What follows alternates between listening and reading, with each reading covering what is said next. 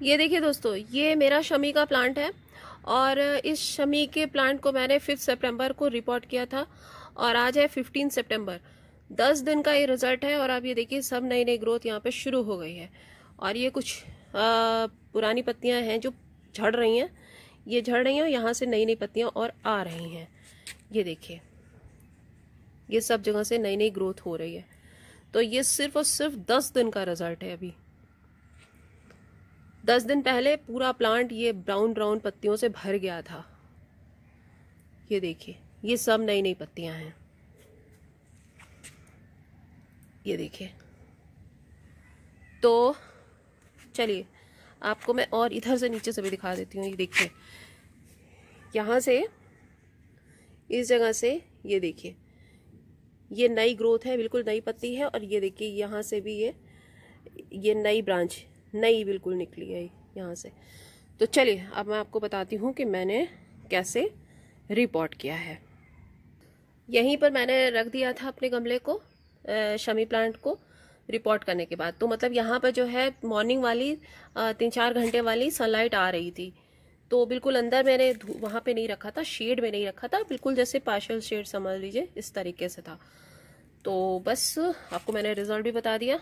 और ये देखिए ये है, इसकी रूट बॉल है, बिल्कुल ये यहाँ, बिल्कुल ये ये देखिए, ये रूट बॉल इतनी हो गई है, ऐसे रूट बाउंड हो चुका है। इसलिए अब इसकी रूट्स को मैं प्रून करती हूँ। और बस मैं कुछ नहीं करूँगी रूट्स को प्रून करूँगी और इसके बाद इस, इसकी मिट्टी में थोड़ा सा खाद डाल करके और इसी पॉट में सेम पॉट में मैं लगा दूँगी। यहाँ से ना, इतनी इतनी सारी ये जो रूट्स हैं, इसको हटा दे रही हूँ, कट करके ना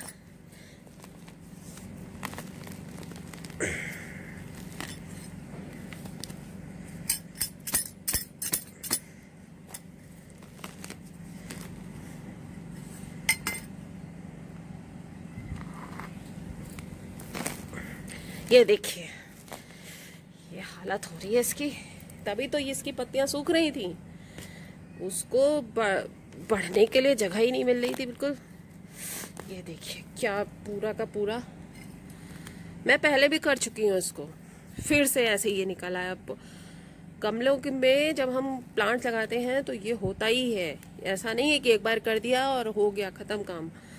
फिर हर एक दो साल के अंतर पे इसको रिपोर्टिंग करनी ही पड़ती है। अब इसको थोड़ा सा कट कर दे रही हूँ, जो लंबी लंबी सी है ना ये।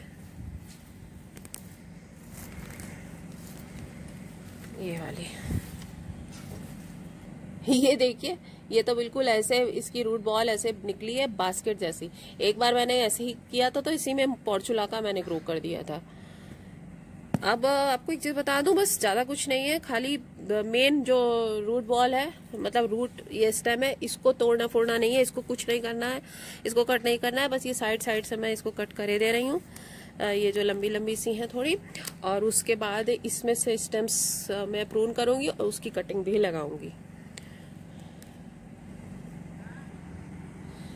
ये सब थोड़ी थोड़ी सी काट दे रही हूँ इधर साइड से ना, जो बड़ी बड़ी से दिख रही हैं। इस बास्केट में भी कुछ ना कुछ लगा दूँगी। ये देखिए बास्केट तैयार हो गई है रूट बॉल की बास्केट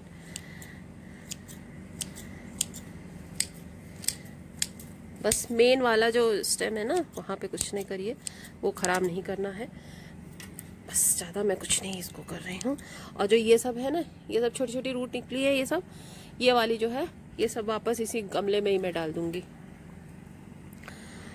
और आपको दिखाती हूँ। इसका आपको मैं चलिए नज़दीक से दिखाऊँ थोड़ा। इसके बारे में कुछ बताऊँ। ये देखिए, इसमें साइड से ही मेरा एक्चुअल में ना प्लांट बहुत पुराना है, कई साल पुराना है। और यहाँ से इसके अलग अलग से पेड़ निकल आते हैं, साइड इसमें से भी बीच बीच में से भी, ऐसे भी। ये देखिए ये।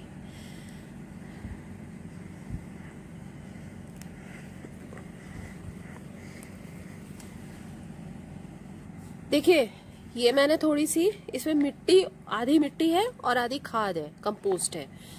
आधा आधा है दोनों। और इसी में ही मैं थोड़ा सा, मेरे पास गोबर खाद नहीं है, आपके पास हो तो आप यूज़ कर सकते हैं। मैं इसमें थोड़ा सा ये ये देखिए, दो मिट्टी के करीब ये वर्मी कंपोस्ट है, वो मैं डाले दे रही हूँ। बस और ज़्यादा चाहिए नहीं। और ये वाली जो मिट्टी पुरानी, ये निकली है ना, इसको ही नीचे भर दे रही हूँ।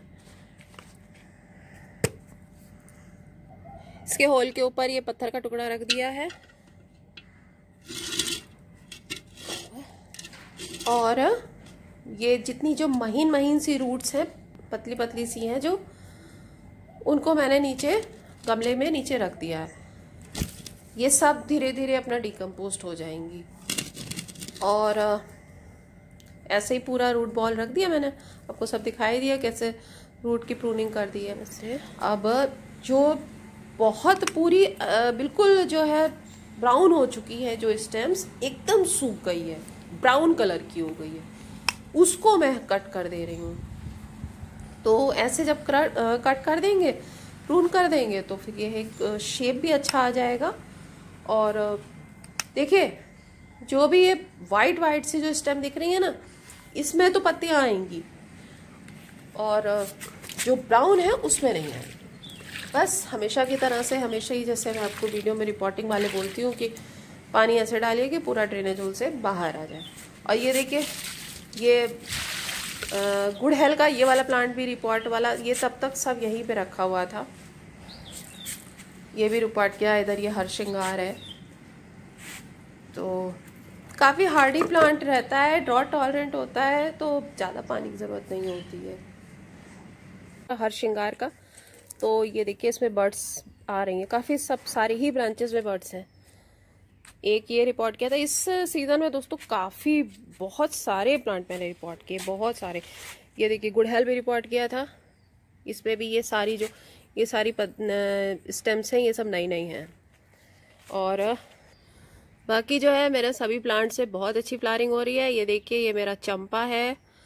और ये मेरा अलमंडा है, इसमें भी काफ़ी फ्लारिंग हो रही है। इस वाले में तो मैंने अभी तक कोई भी खाद नहीं दिया है। इसका वीडियो, इसका लिंक मैं शेयर कर दूँगी, अगर आप देखना हो तो देख लीजिएगा। और इस वाले भी अलमंडा में काफ़ी सारी फ्लारिंग हो रही है। बहुत बहुत फूल निकल रहे हैं। साइप्रस वाइन तो बिल्कुल देख रहे हैं। एकदम भरा हुआ है। पूरा फूल ही फूल फूल ही फूल भरी हुई है। ये देखिए। और दिखाती हूँ मैं। ये देखिए। सब यहाँ फूल ही फूल है बिल्कुल।